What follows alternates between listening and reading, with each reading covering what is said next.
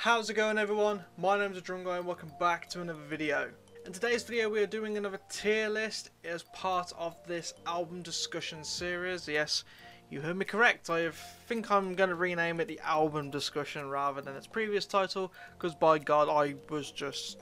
It was a mouthful to say. I thought I was being clever but it didn't really work. So the series will be retitled the album discussion. The premise is the same. We will have a tier list where we will be focusing on a specific band and we'll talk about their albums throughout their career and I will essentially rate them. Today's band to highlight is Black Veil Brides. Black Veil Brides, of course, have got a few albums under their belt now, and I thought it would be another great opportunity as they have a few albums like Avenged Sevenfold to discuss each album and rate it where I think it should sit. Now, as I always say in these videos, in this series, these are my opinions and obviously yours may differ. I would love to hear people's comments in the section below if they agree with some of the stuff I said or if they would rate an album differently. So, of course, the albums I've got are We Stitch These Wounds, Set the World on Fire, Wretched and Divine, the self-titled album, Veil.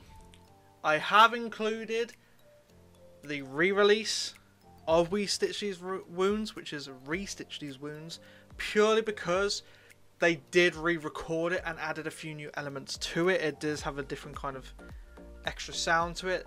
I didn't include the resurrected version of Awaken the Fallen in the Avenged Sevenfold because there was no re-recording. It was just the original album and it was just extra content that was thrown on. And of course I have their newest album, The Phantom Tomorrow.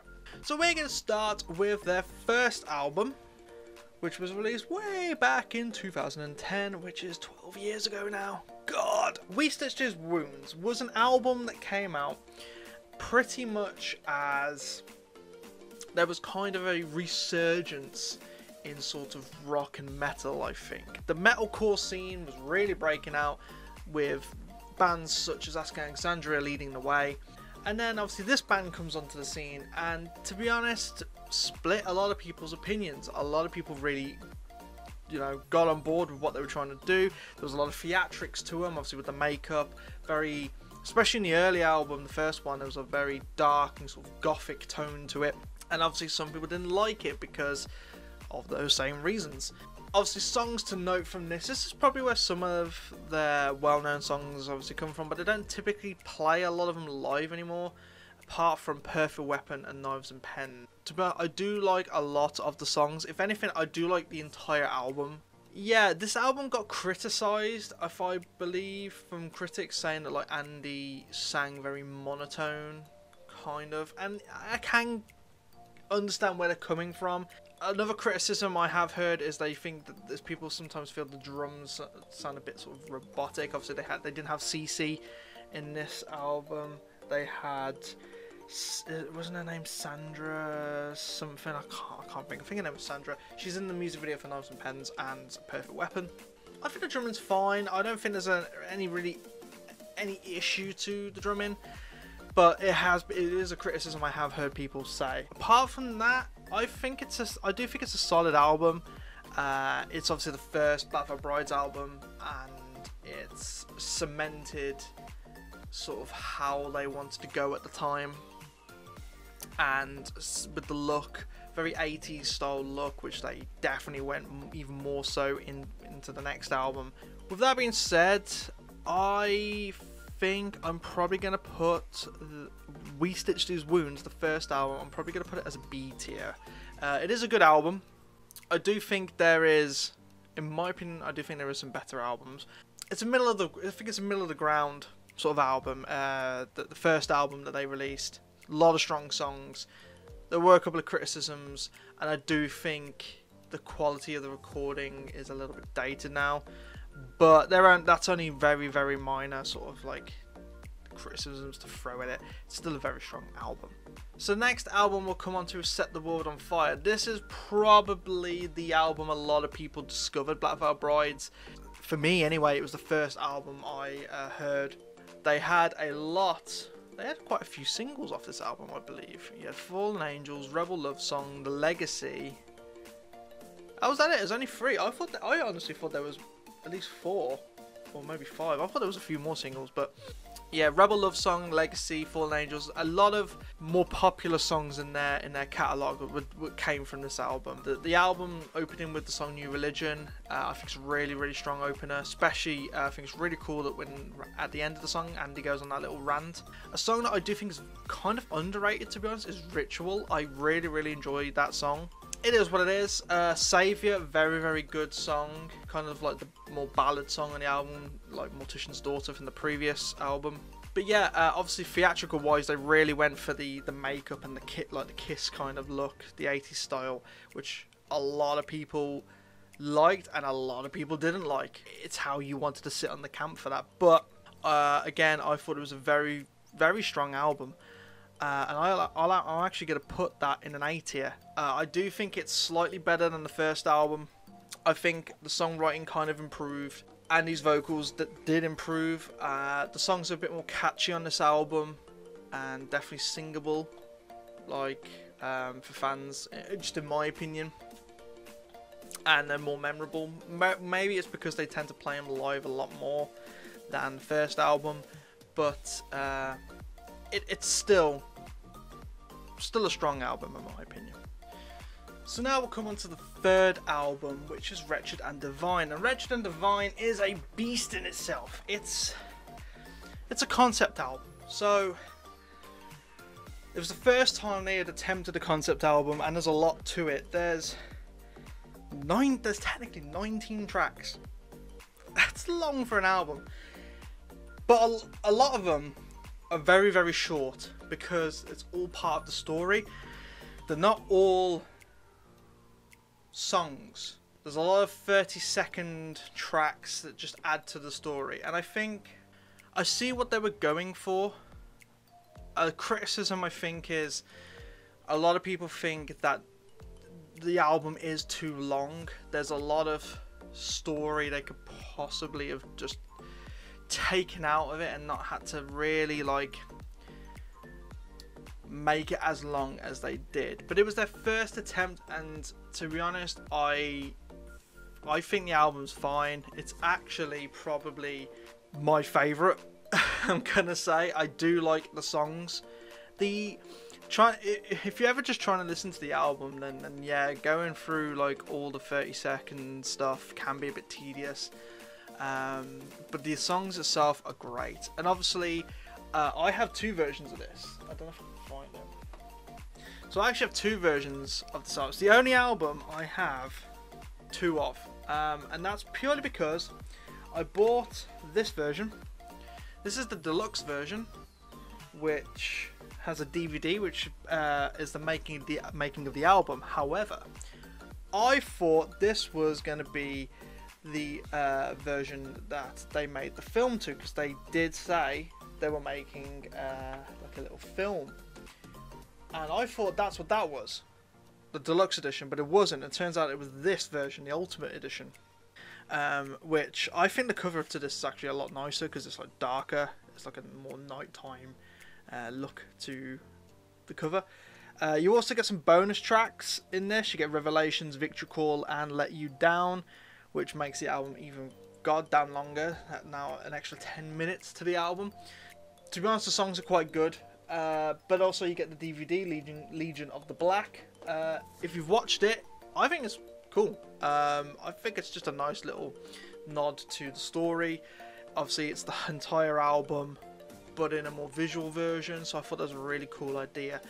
Um, songs that I personally would pick out from this is I Am Bulletproof, Resurrect the Sun, Shadows Die, uh, and in the end, the single. Uh, it's weird actually, because I think in the end, it's technically the only single they ever released on this album. It was the only music video, but then they did do the film. I think, uh, like I said, I, am going to place Wretched and Divine as an S tier. A lot of people might disagree because of all the interlude type stuff, but I think it's a solid album. Um, I really enjoy it. I've I recently listened to it again, and I really forgot how good I find the songs on this album.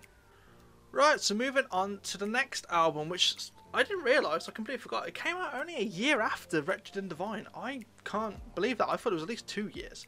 Um, so we, we're going to 2014 now where they released their fourth album, which was self-titled, um, Black Brides. This album was different to Wretched and Divine. They went more with a like a big rock vibe. Um, I think it was also uh, very influenced by the producer that they went with. I think he's a producer that is very known for like Motley Crue sounding songs or and stuff like that. Very, very influenced by that style of music and obviously different to Wretched and Divine. I think writing a massive concept record probably took a lot out of them and this one just went back to your you know your typical just songs on an album. This album there are some songs that were good. They did release three singles which was heart of fire faithless and goodbye agony. Uh, i think heart of fire is probably my favorite. I know this album well not the album but i know that the song heart of fire especially when I when it got released, I did see a bit of criticism for it. I said it was very simple. It wasn't. It was meh. There wasn't too much to it coming off of what they just uh, released. I thought it was alright. It was a simple song, but it, it was a catchy song. The thing I liked about Goodbye Agony is I didn't really enjoy the song itself that much, but the music video was really cool because it had loads of like nods to previous albums and also um, music videos in particular. Uh, the biggest one being at the end was, if, if, I'm correct, at the end he opens the coffin and it's his Andy Six look from the music video Coffin, which was on the Rebels EP, which I haven't included because I think Coffin was the only sing uh, new singular song on it. If any others were covers. Um, everyone kind of thought that his Andy Six persona was going to come back because, like, you know, waking up in the coffin, if I'm correct, or was it? It was something like that. I, I'm, I'm really trying to remember, but it was something like that. It was a very, very good music video. There was a lot of nods. There was like the the, the demon shadow things from Wretched and Divine were in there. The book, I think, from uh, Knives and Pens was in there there, there was a lot of stuff to, to, to really put into that in, into that music video to, to look and if you it was it was interesting as a as a Veil Bride fan just to watch the music video and just try and like pause it at moments like to find oh look there's there's this, this, certain thing that's from this music video and there's that from this. It was really, really good. It was like an Easter, Easter egg filled music video. Honestly, I'm going to say apart from that, there's not really much on this album that I kind of liked. Drag Me to the Grave was okay. World of Sacrifice was an okay track. But yeah, there's not really there's not really all too much I will admit in this album that I, I kind of enjoyed. So I I'm gonna place this album as a C tier. People may disagree. There's another album, in my opinion, that's that's that's gonna come a bit worse off. But uh, C tier for the self-titled album. There were some okay songs it definitely didn't live up to what I thought I hoped it would, especially tailing off Wretched and Divine. But I know that they're, they're two different demons in themselves. Like this, this album is just a normal album, whereas Wretched and Divine was a concept album. So I know that there are obviously massive differences. But uh, yeah, I think it's uh, it, it didn't live up to what I thought it was going to be. But to be honest, it came out a year after that. I think it was possibly too soon to do another album. I maybe should have given it another year and released in 2015. But what's done is done. I'm not criticizing the band whatsoever. It's still it is still a decent album. Right, so now we come on to Veil. Now Veil is the fifth album, and my God, what do I say about this? Uh, I don't like it. it's the album I don't like. Just looking at a tracking list, there's not a lot of songs that really stand out to me. Um, what were the what were the singles from this?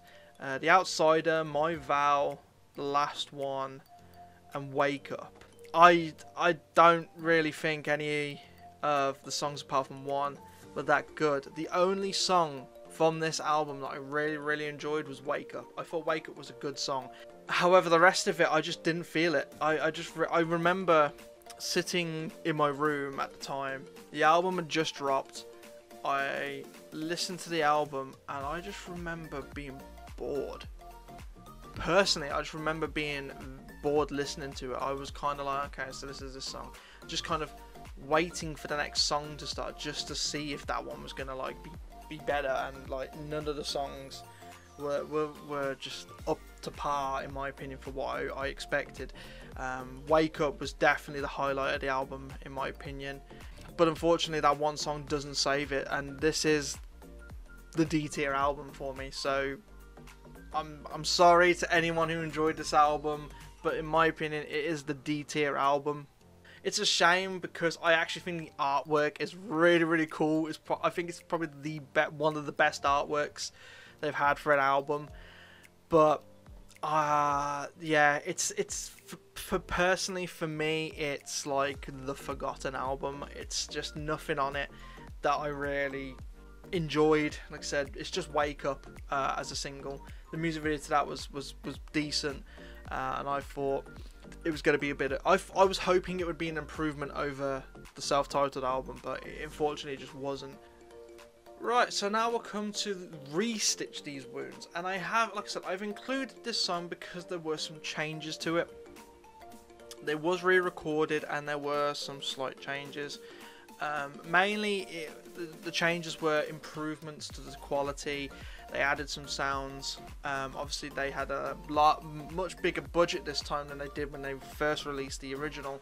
So I think uh, Andy said in an interview that it just allowed them to pull off what they wanted the original album to sound like. And there are some improvements. I think Carolyn's got um, some slight improvements to the feel of the album. It's one of the it's again it's one of the best songs on the album. Obviously, Andy's voice is a lot more varied in this. He, he does push his voice in. It doesn't sound as monotone. Probably one of the biggest changes is Mortician's Daughter. So Andy doesn't sing in that because I think he said that the song was about his ex, and obviously now he's he's married. He didn't think it was right to basically sing a song about an ex-girlfriend. Um, but what they did instead was uh, Jinxx plays violin or whatever it is in place of the vocals, and it does become a very very beautiful sounding instrumental song majority, like I said, the majority of the other songs are obviously the same. It's just improvements to the quality and some sort of changes. Obviously, CC's now on the drums, and I think he does throw a lot of his drumming technique and influence onto onto this album. Um, for these small reasons and from what I've discussed, I, I'm going to put Restitch These Wounds as an S tier. I think it's a very, very big improvement over the original album last album, The Phantom Tomorrow. Now, The Phantom Tomorrow, what do I say? Um, some good songs. Uh, I've I've, rea- I've done some reaction videos to, to, to the songs on this. This is the first album in this album discussion series. We're actually speaking about an album I've done reaction videos to because the Avenged Sevenfold I haven't because all the albums came out before I started the channel. Um, obviously, Scarlet Cross. Scarlet Cross was according to my channel, the first reaction video I ever did, and it technically isn't. Uh, it was a different song which got blocked and uh, like fully blocked, like no one could see it, so I had to delete it. It was like because it was never going to get unblocked. So Scarlet Cross technically is the first reaction video that you'll see on my channel. Uh, it was the first video as well that did really well. It got to about 400 views or something. I was insane. Now I've got like the odd video that's got like 15,000 views. It just blows my mind. Um, but yeah, I reacted to Scarlet Cross. I reacted to Born Again. Most that's one of the recent ones I've done. Torch, Fields of Bone, and Crimson Sky. So like a good portion of this album, I, I um have done reactions to. Um, the other songs are pretty good. I think the Wicked one is probably a good one for me to note out of the ones that haven't been released as singles. Um, the others are, are, kind of okay, but um, I think this is is this meant to also be a concept album? I'm not too sure. It does tell a story, so I'm just trying to have a quick read. It might be a concept album as well, but they might have. They've definitely gone in favor of a more traditional probably concept album where it's just through the songs. There are two like interlude tracks, which is the Phantom Tomorrow, which is the first song, and Spectrus, is that how you pronounce it? uh, which is like an interlude, which is like track five. The rest are, are legit songs, not like Wretched and Divine, where there's like half the album um, is 30 second little things. Um, so I guess maybe they, they, they didn't want try and go OTT like they did last time. Uh, maybe they learn from it. I personally, like I said, I don't see a problem because I think it's one of my favourite albums. But where do I put the Phantom Tomorrow? In my opinion, I think the Phantom Tomorrow is it is a bit of a decent album. There are some strong songs. I do think it's better than Veil. But do I think it's on par with I see I, it's definitely not an S tier album. And I don't think it's an A tier album. So it's either a B or a C tier album for me. And do I think I'm I'm gonna put it in a C. I think that's where I'm gonna put it. Um, it's got some good tracks, but I do love the original album. Obviously, I've put it in a B tier because I think the re-release was a lot better. A lot of people might think this is absolute bullshit and call me out saying, "How the hell can you put a re-release higher than the original? Say you love the original, and then you know, uh, it's look, hey, it's what I it's what I decided to do. So let's just quickly go over it. So D tier is Veil. I, I honestly I think it's their poorest album. Uh, C tier is the self-titled and Phantom Tomorrow. I maybe could have bumped Phantom Tomorrow up to a B tier, but I think self-titled and Phantom Tomorrow equally have like the same amount of songs on it that I kind of like to dislike. Um, maybe the Phantom Tomorrow has like one or two more, especially because I've done reaction videos to it. I think Crimson Skies is probably my is my favorite um, track uh, from the album, very closely followed by uh, Scarlet Cross. Um, B tier, I've gone with uh, We Stitch These Wounds. It's it's it's an iconic album. It's the first one. Uh, a lot of the hardcore old school Black Veil Brides fans obviously love that album. A tier is We Set the World on Fire. Again, iconic album, probably the most well known album. Uh, but S tier is Wretched and Divine and re Stitch These Wounds, uh, the, the re release, obviously. Uh, both albums I think are, great. Like I said, I love the first album but the re-release with the improved quality and the little the slight changes they've done to it you know really really pumps that it's what I would love the, the original album to have been which is what they aimed for so hence why I put it in the S tier and Wretched and Divine because I, I do think the story's great to it all the extra stuff you can buy like the DVD and the, the, the making of the album is just a bonus. I think the album's great, the story's great, and uh, yeah, it was just it released at that time, that right time in my life, um, where I was really, really into my music as a teenager, you know, like a young teenager, like 14, 15, and uh, I just loved it as, a, as, a, as an album. So it's got that nostalgia pretty much for me. Um, so there we go. Do you agree with the list? Do you not agree? I'd love to see what people think. Maybe there's some changes. Looking at the list, maybe I could have changed some stuff around, but I, am quite happy with my choice. So uh, I'd love to see what people think. So thank you everybody for watching. I hope you've enjoyed watching it, as I've enjoyed rating these albums. I hope you agree. I'd love to hear your comments below. Please like, comment, and subscribe. All that good stuff. And I'll see you all in the next video. Bye bye.